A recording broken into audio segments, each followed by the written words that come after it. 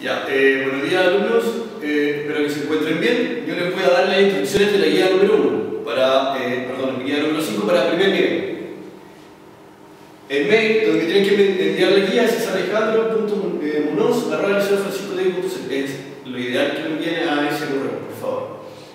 Horario de luz es el horario normal de, de, tu, de tu jornada. Si estoy en la mañana o si estoy en la tarde, de tu horario ya, esto es una retroalimentación de, de los ejercicios anteriores con la clase pasada. Lo importante acá es entender la relación de signos. ¿ya? Ahí le puse paso 1, paso 2. Primero se tiene que ver si sumo se resta, segundo, qué signo le pongo. ¿ya? Ejercicios son bastantes. De nuevo, la relación de signos no importa. La parte número 2 es de multiplicación y división. Aquí cambia la relación de signos. También está explicado acá. ¿ya? Signos iguales siempre van a ser positivos y signos distintos siempre van a ser negativos. Importa quién sea el mayor.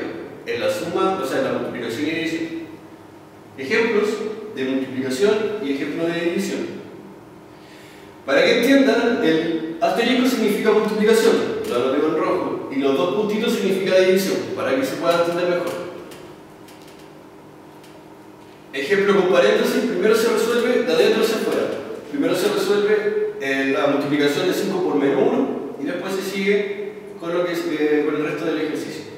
La explicación y ejemplos. Lo que está acá es la respuesta de cada ejercicio. ¿Ya? Para que tengan la retroalimentación y sepan si llegaron al, resultado final. ¿Ya? Y por último, la parte donde se va a evaluar la, dice la regla en la aplicación, el ejercicio número 4 será evaluado de acuerdo al puntaje obtenido por cada ejercicio. Ya, cada ejercicio tiene su puntaje en el costado. Acá simplemente tienes que encontrar qué número sumado o restado por, da menos 7. En la parte de acá, qué número multiplicado o dividido te da los resultados de acá.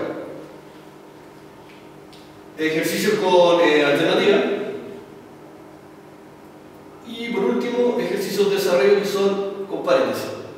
Acá abajo hay link de apoyo que está enfocado en los paréntesis y en la multiplicación y división y suma resta de números enteros. Y una pequeña tabla donde pueden ver la relación de signos. Básicamente es eso. De nuevo, si me tienen dudas, por favor, todo al correo que está acá. alejandro.munoz.francisco ¿Ya? Espero que se encuentren bien. Muchas gracias.